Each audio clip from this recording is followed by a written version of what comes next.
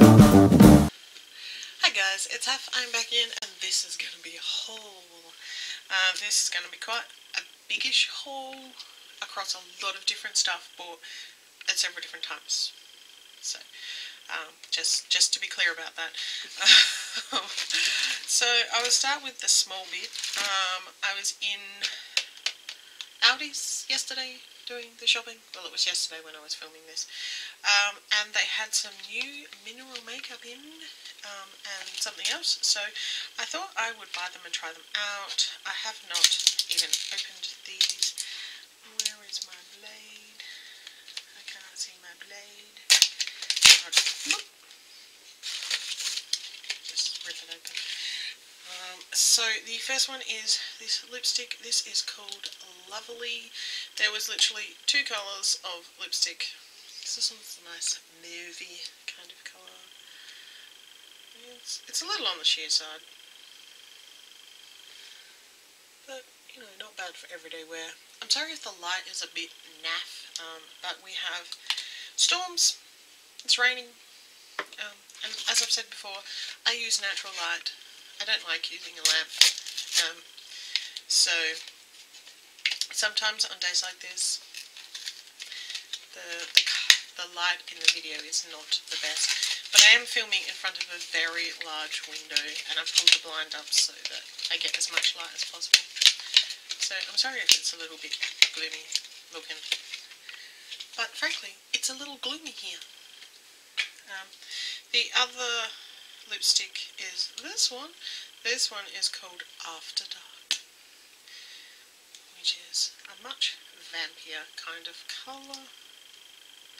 Oh, and much more pigmented. Ooh, I like. That looks really nice. I like that. And the other thing in their makeup collection is their mineral foundation. Um, this only comes in like three colours. Light, medium, um, no, light tan. I only saw it in two, I think, which was light and tan. Um, it's only full to here. Oh, just, you can clearly tell I had not pulled it out of the pack. I have no idea if this is actually light enough for me because, of course, I couldn't swatch it. Um, it's actually sealed. I'm not actually going to open it. Um, I might do a first impressions on it and see what it's like. I'm still yet to find a foundation I really, really like. And the last thing I saw was this Lacura brush set. These are natural bamboo handles with synthetic nylon bristles. Um, you get a blush brush, eyeshadow shading brush, eyeliner brush, lash and brow groomer, and a foundation brush. Now, honestly, I don't apply foundation with a brush very often. I don't like the way that it looks. Um, this has got one of those stupid... You know, they make stuff so that you can't actually steal stuff out of the pack. But then it's almost impossible to get the packaging open. Especially, especially, especially for our package challenge, ladies. Um, these actually remind me a lot and I wouldn't be at all surprised if these were not made by the same people who make EcoTools. Like the whole packaging thing and the way they look and feel is very much like the bamboo bamboo EcoTools that I actually have. That's a nice stiff dense uh, makeup like foundation type brush. Um, this is not what I would use as a blush brush. I just use it as a powder brush or to like sweep away underneath the eyes. Not the softest brush I've ever used, but it's not, none of them are terrible. Um, I quite like the look of the eyebrow groomer thing. It's kind of got that almost like a tortoiseshell type of look, which is kind of cool. Um, yeah, so I haven't actually tried them out because, as you saw, I hadn't taken them out of the packaging. The eyeliner is a little bit thicker than I would actually like in the middle. It's like, it's thinner on each end and it's fatter in the middle. I don't really like that. Um, the shader brush is not too bad. Um, I definitely use that to pack colour on the lid Um, or sometimes if I'm doing my concealer, I do it under the eye like that. So, um, the other makeup type stuff, uh, we went to, sorry, it's all in the bag still. We went to um, Chemist Warehouse.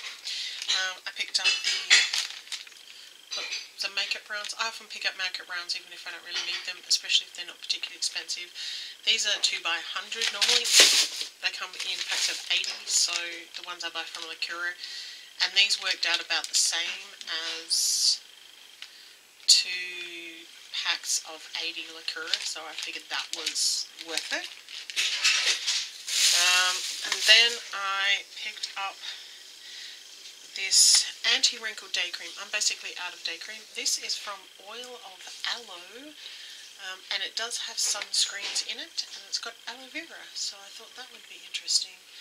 Never actually um, tried it. It's made by Lendlock International. No idea what that's like. But I also picked up some Garnier Skin Active Ultra Lift um, SPF 15 Day Care quite like Garnier stuff, so I figured I would try that one. And one of the things with Chemist Warehouse is a lot of stuff is super discounted. Um, the other thing I picked up is from uh, Thursday Plantation, a whole bunch of different brands, but this is the one I picked up because price-wise it was the best. This is rosehip oil. Now the reason I picked this up is um, I keep on seeing that um, hint that Wayne Goss talks about, about using a bit of oil when applying foundations, particularly on slightly mature skin um, to make it look better. And I actually tried it for the first time today using the rosehip oil.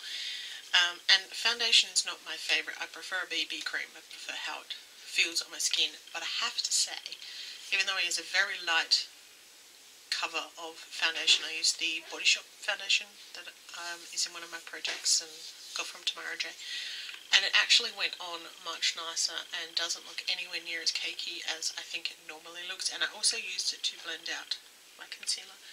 And I think it actually worked really nicely. I think it it made it go on more smoothly and it didn't feel like it tends to feel like it's sinking into all of the pores but the rosehip oil helps to puff the pore, um, the lines and stuff out so it doesn't sink in quite so much. There's still some places, even though I'm using a pore filler um, primer. There's still some places like on my chin that don't look great when you're up really, really close. In the camera, you can't tell. Uh, it's only when I look in the mirror that I can actually tell. But um, I picked up two lipsticks. Um, these are Elizabeth Arden lipsticks. I think I actually have one of these colours already. But these are, these were like $8 for an Elizabeth Arden lipstick. Um, so one is,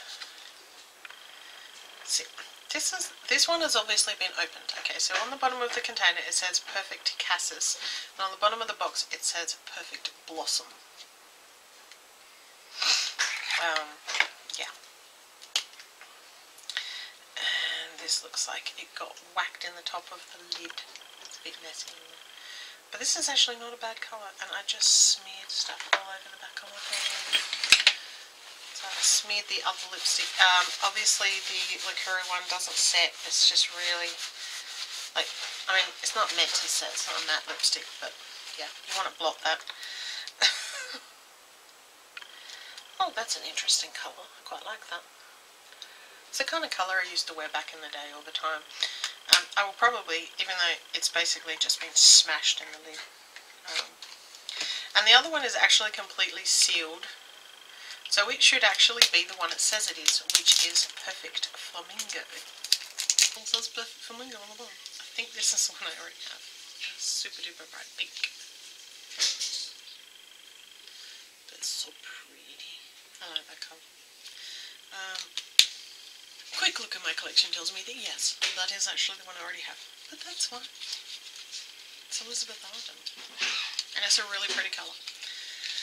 So, I also, because this is what I do, I bought some nail polish because it was on sale. Um, and I wanted it. go figure. Um, I generally, if I'm going to Chemist Warehouse, I generally only buy nail polishes that are in the extra reduced. So they're not particularly expensive at Chemist Warehouse to start with, and then they reduce them further. Um, I don't have swatches of any of these, so this one was only a little bit reduced. Um, this is the Sally Hansen Big Peel Off Base Coat, which I've wanted for ages. I just haven't bought it, so... Um, yeah, so I bought that one. The next one is this Sally Hansen Magnetic. I have a couple of other magnetics from this line, but this one I don't have. This is Ready Response. This is kind of like the purpley reddish kind of one. So I got that one. Um, I got this Maybelline Colour Show Bleach Neon. I have a few other ones from this same collection, but I don't have this one. This one is Tropic. So I picked up that one. This is the pink one. Even though it's a bleach neon, it's still making my camera freak out. And then I picked up five from the Revlon um, line. Two of them are top speeds. So we have this one here, which is electric, which is a yellowy kind of colour and this one which is called Jaded, which is a green colour. Go figure. Um, I don't know what those ones are like, I haven't put them on my nails. Um, I got this one here which is called Timeless, which is kind of, it's kind of a grey basically, it's just a grey. It kind of goes with um, Chic and Mischievous, has the same kind of and then we have Blue Lagoon, which I couldn't not buy. This is a shimmery light blue. It's quite looks quite bright in the camera. It's a bit more muted than that, but it's got um, silver and blue micro glitters in it by the look of things. And the last one is Magnetic, which is actually what I am wearing on my nails. I chunked this one, that's why it looks a bit weird before it had dried. so this is magnetic. It is a pink base with purple and blue glitters in it. It's actually really, really gorgeous. Um, it kind of colour shifts a little bit um, when you tilt your hand, when you tilt the nail. It looks a little bit different. I haven't got any top coat on it, which is why it looks a little bit dull. Um, but it's not super chunky or anything, but I think it's going to be a pain to get off, basically. So that was everything from uh, Chemist Warehouse. And lastly, more fun things for the nails. Um, mostly, anyway. Uh, I recently in Adelaide, like the weekend that's just been, um, there was a craft show down at the Wayville Showgrounds, which my mum works on the Embroiderers Guild table for a few hours, so I get to wander around and like look at stuff. Mostly it is scrapbooking stuff and quilt making stuff and like patchwork type stuff. Which are not really things that I'm super duper into. I like looking at them, I just don't do them. But sometimes the things that they have are suitable for nail art. Like they can be used in that same kind of way. And I was very much, on the whole, looking for a particular feel.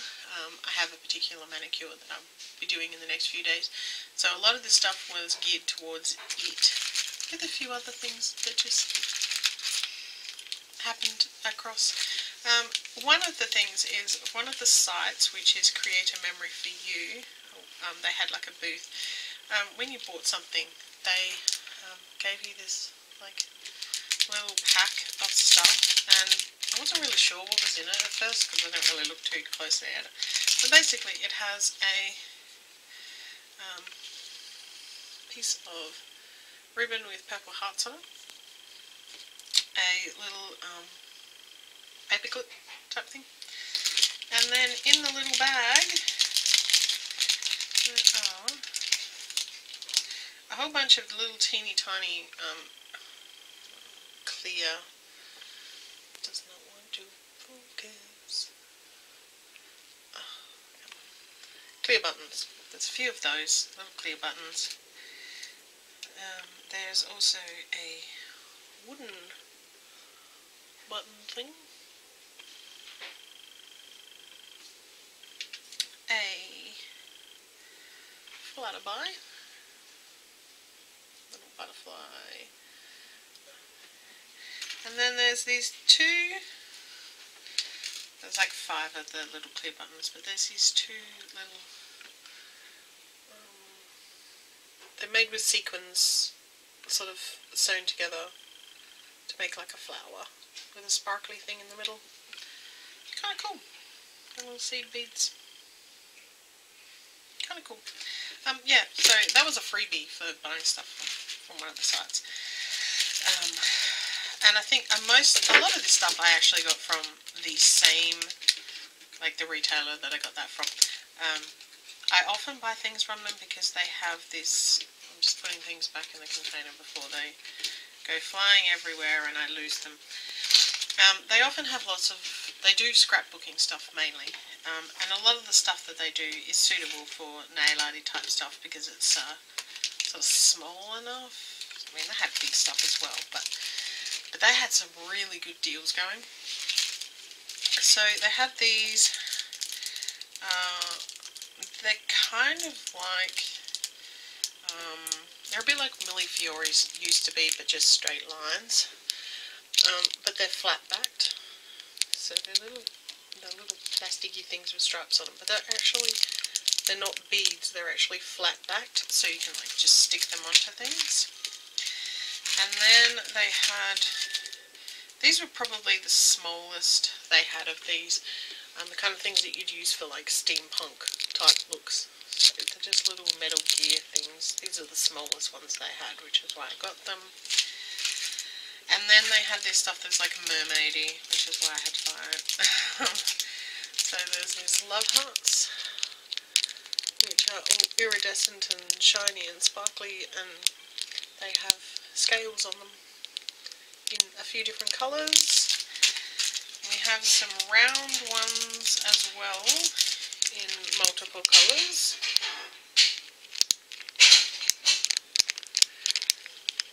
They're all in multiple colours and then we have one lot which is basically blue and teal. And they're basically just little flat I mean, they're quite large for most people's uh,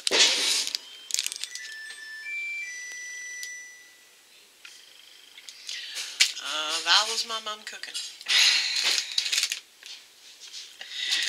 um, one of the uh, one of the other things that um, I have used on my nails is like washi tape. I'll you insert a picture of the manicure I was wearing the day I went to the craft fair, which had washi tape on it. Washi tape that looks like um, measuring tape.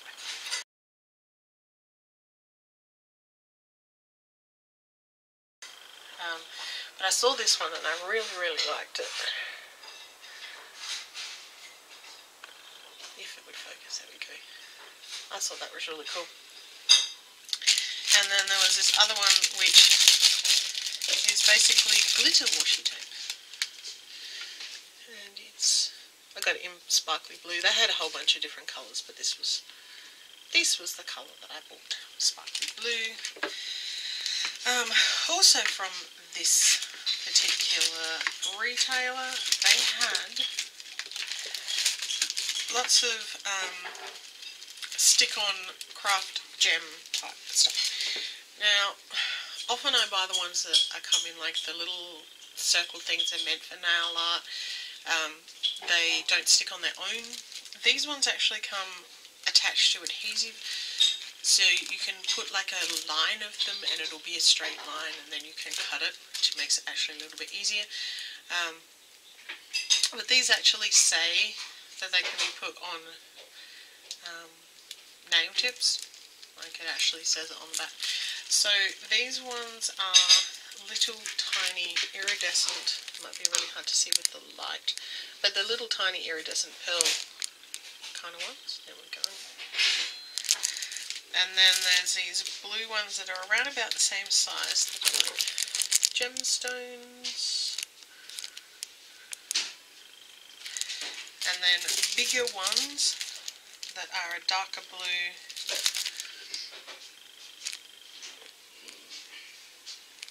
And all of those, like this one was like a dollar for all of those. And these two were two dollars each. Those.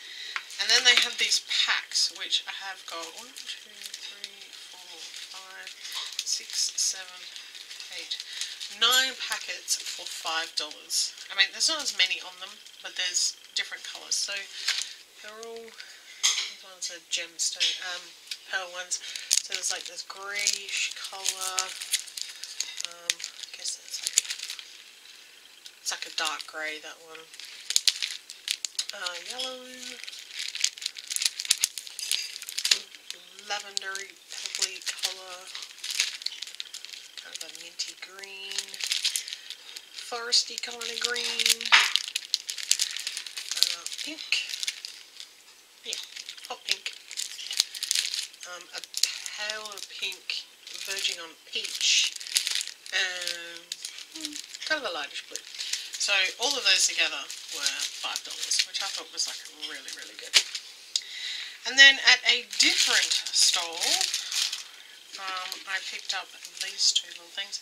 This one here, they're like um, I think it's plastic, but they look like little broken pieces of glass in different sort of sizes and I think they'd be really interesting to create like a textured icy kind of look. It was just really interesting. It wasn't the cheapest thing ever but I don't think you need to use very much. It was like $4.50. But at the same place they had these which is what really drew my attention. Again they're just like stick on jewel things but these ones I don't know if you're going to be able to see it. They're kind of like a flower, so they have a little bit around the outside and then they have a bigger bit in the middle. I thought they were like really cool. And they were like $2. And then the last thing I bought was um, this set of nail foils. I'm, I have quite a bit of different nail foils.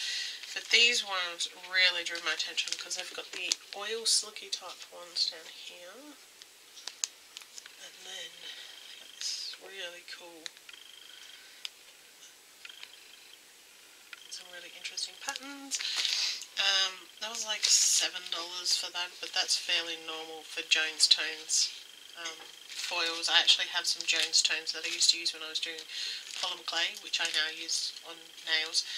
Um, and they're usually, I haven't, obviously I haven't opened it, so I can't tell you how big